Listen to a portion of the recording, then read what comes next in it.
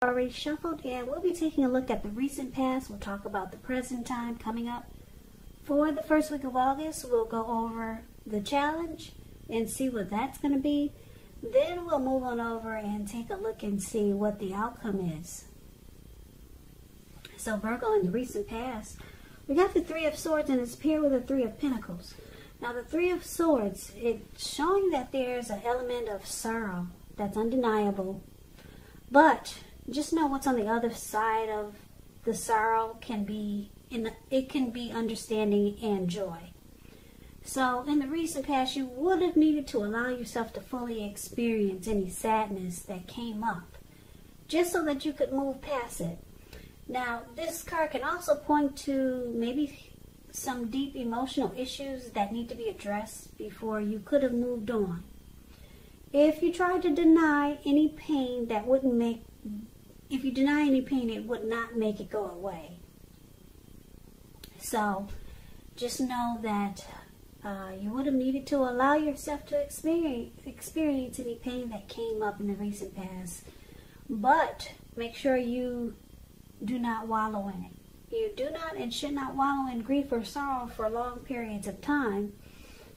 However, you're the only one who can decide how long is long enough, and others, they will not be able to do that for you.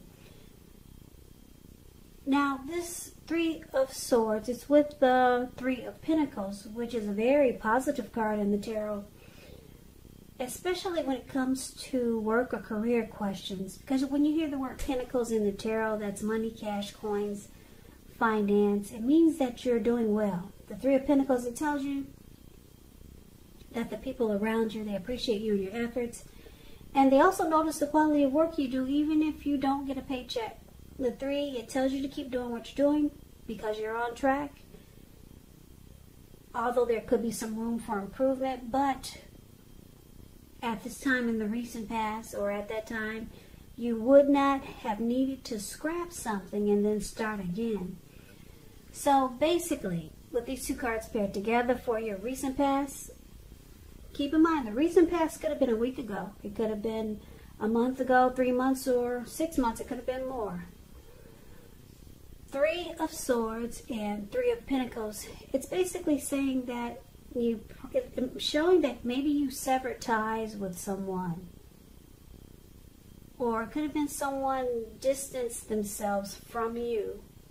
Or maybe you from them. Um, someone could have started to become closed off. Maybe there was rejection. And it caused a lot of sadness here with the Three of Swords. Some sorrow, heartbreak, pain. Um, yeah. So a lot of um, maybe shutting each other out.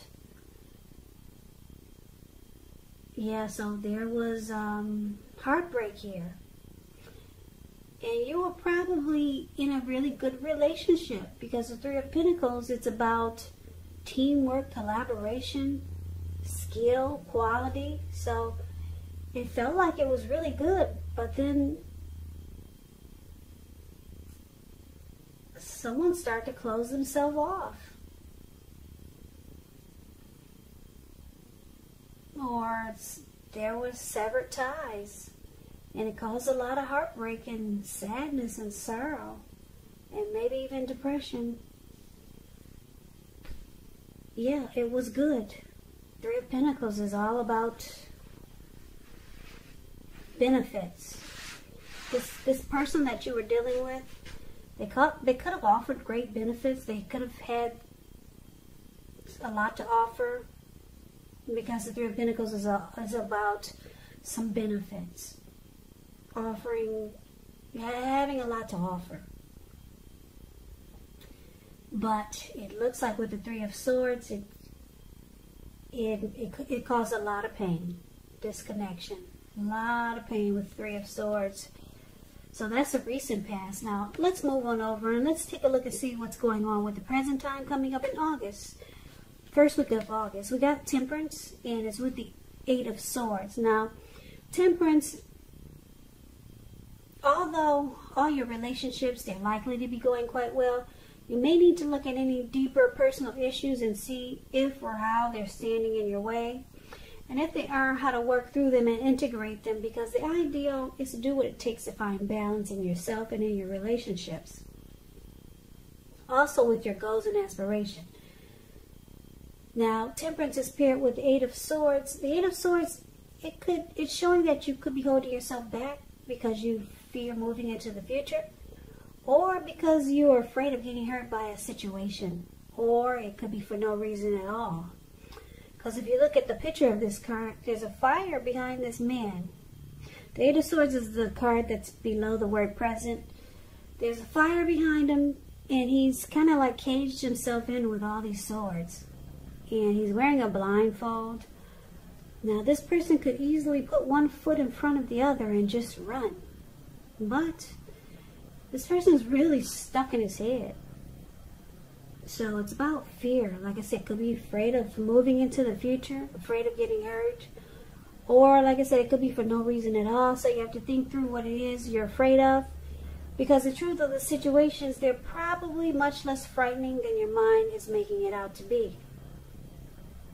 So coming up, Virgo, for the first week of August, Temperance and Eight of Swords. It looks like you're just trying to, it looks like you're trying to find balance with this Temperance card here. You want a peace of mind. You might even be thinking about reconciliation or recon, yeah, maybe, maybe some type of reconciliation with someone, that's possible. But for the most part, I'm thinking that you might just want balance in your life. You may start to feel like you want to look at things that you feel guilty about, any mistakes you've made in your past. Then try to forgive yourself and let it go because you probably realize it's really the only way you can truly make progress going forward. So it's all about you coming up in the first week August, trying to find balance and peace of mind. It looks like this heartbreak that you experienced might have really taken a toll on you. But because it's with the Eight of Swords, yeah, you're you're still stuck in your head. You're having a hard time maybe letting go of this the pain and the heartbreak that you experienced and you realize that you just want balance in your life now. You want things to come back into you want things to come back to to better like it used to be. Maybe before you met this person or before you were in this situation that caused heartbreak. You probably are just remembering how your life was so much more balanced. But for now, coming up in uh, the first of August, it looks like you might still be stuck in your head about whatever caused heartbreak or whatever's going on in your life, and you're really trying to focus on peace of mind. And like I said, you might just try to reconcile with someone. You just might. That's what temperance is about also. So let's move on over and let's take a look and see what the challenge is going to be coming up for the first week of August. Wow, we got this Seven of Swords, and it's with the Hermit card. So the Seven of Swords, it can point to someone behaving with less than ethical intentions. It can sometimes mean prying into someone's life where you don't belong. If you sense that someone is spying on you, Virgo, you may be right. And if you are tempted to dig through someone else's life, unless it's that of your minor child, who has given you cause for concern, you just might want to resist the impulse because we know everyone deserves privacy. So, Seven of Swords is with the Hermit card. Hermit card can be a spiritual card. It could have something to do with institutions, large organizations, everything from a bank to an entire Christian church. But for the most part, it's about being in the frame of mind that you need some time alone. So don't be afraid to take it. Even if it's just a five minute walk around the house so that you can clear your head. This is also a card about trying really hard to do the right thing. But just make sure that doing the right thing includes doing what's right for you personally. And not just worrying about the wants and needs of others. So the challenge for you, Virgo, Seven of Swords and the Hermit card. It looks like you. Looks like you got someone that's that's watching you. Seven of Swords here. Mm. Seven of Swords is also about. It's about less than ethical behavior, intentions. Someone could be playing games with you, being strategic, manipulative, using tactics. So you may not uh, be trusting a person or a situation. And it looks like all, all the things that we talked about so far, it's making you just want to spend some time alone. Maybe it's that's this uh, hermit card. It does help. It's showing that it helps to it helps to get rid of baggage, clear your mind, and that's that could be what you're trying to do. But you got someone that got there, they have their eyes on you. Somebody's watching you. It could be this, it could be someone new maybe, but I'm picking up it may be the person that you're dealing with. Um, they see that you're trying to bring balance back into your life. Yeah, and looks like one of the ways that you do it is by spending time alone just to clear your mind and get rid of some baggage. But somebody's keeping tabs on you. Someone wants to know what you're doing all the time. Yeah. Now, if this isn't someone you know, or if you feel like there's no one doing this, then you could be doing this to someone, keeping tabs on someone, watching, or maybe stalking the person that caused the heartbreak just to see what they're up to. But I'm picking up for the most most of you Virgos, someone is keeping tabs on you. There's someone spying, stalking, prying in on you. They see that you're just trying to bring balance back into your life after you've been through so much difficult difficulties. So that's a challenge. Now let's see what the outcome is. We got the Two of Pentacles and the Sun card. Now the Two of Pentacles it could be about two main issues at front in your mind. You may need to pull back from trying to pay attention to quite so many things. Multitasking. It is not your friend. You may need to cut down on things that you're doing in order to focus on just two main priorities. Your financial situation may need to be more balanced, but be sure you're paying attention there also. Two of Pentacles is with the Sun card. Sun card is things are going really well. However, your finances they should be in great shape with, when you get the sun card, but this doesn't mean that you should lose focus on what's truly important.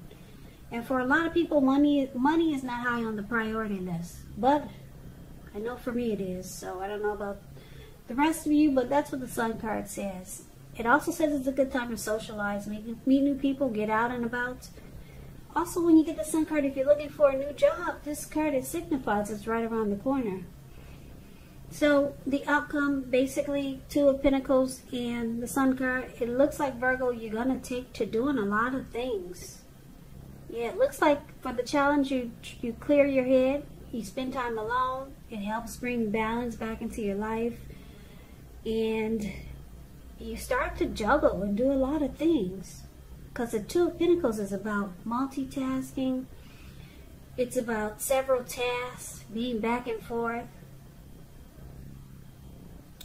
Uh, also, it could mean that uh, you were dealing with someone who was a two-timer.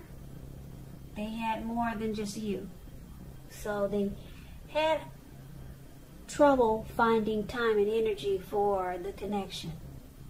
So I'm getting a couple of different storylines for the outcome. So it could be you just really busy, or it could be you having dealt with someone that was a two-timer and because it's with the sun card, the sun card here, you could be looking for just um, bright and happy days. Or you're all of a sudden, you're starting to feel like sunshine is finally coming back into your life. And you're just making busy. You're multitasking. Even though it says it's not your friend now. But with the sun card, it's saying that it's it's helping to bring sunshine back into your life after such a difficult recent past. But just know that um, with the Seven of Swords here, someone could be using tactics or just maybe just watching you. Uh, your person might be trying to reach out to you again, but you probably know that they're they're a two timer or they're really not going to make time for the relationship. So I'm picking up that you focus on you. I'm picking that up with this um, um, Hermit card here and the Temperance card here. I'm, pick, I'm picking up that most of you Virgos are just going to focus on bringing bringing balance back into your life. And what's going to happen is that it brings a lot of sunshine and happy days back into your life. So that's the reading that I have for you, Virgo. I hope this resonates. I hope you enjoy the reading. As you know, general readings, they do not resonate with everyone. Then again, if you like this reading, please comment, subscribe, hit the notification bell. That way you'll be notified when I post my next reading. I'll also put a link below of the extended of this reading where I'll go over how you both feel about the situation, what's in the near future for the two of you, how you see yourself, best case scenario, and what will happen between the two of you in the next few weeks. I will also put a link below of the extended of this reading where I'll go over I'm sorry, not the extended. I'll also put a link below for personal readings if you'd like to try one of those. Or you can ch choose the extended version. So, Virgo, thank you so very much for watching. I hope that all of you are well and staying safe during this virus season. Just know that it will pass. Take care of yourself. Treat yourself well. And Please come back and join me for the next Virgo reading, just in case this reading did not resonate. Maybe the next reading will. So, I hope you have a great day.